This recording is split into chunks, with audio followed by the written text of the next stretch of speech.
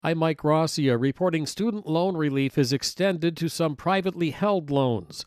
The Education Department is extending the pause on student loan payments to borrowers who have defaulted on loans held by private lenders. On Monday, Education Secretary Miguel Cardona extended the payment pause and 0% interest rate to the 1.1 million borrowers who have defaulted on privately held loans. More than 800,000 borrowers were at risk of having tax refunds seized to repay defaulted student loans. In January, President Joe Biden extended the pause on federal student loan payments put in place by the Trump administration through at least September 30th.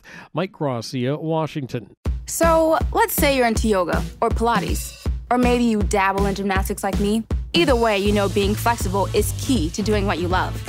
That's why Smoothie King created this Stretch and Flex smoothie for people like us, with whole fruits and organic veggies, plus type 2 collagen. Make it part of your daily fitness routine to support flexibility and joint health.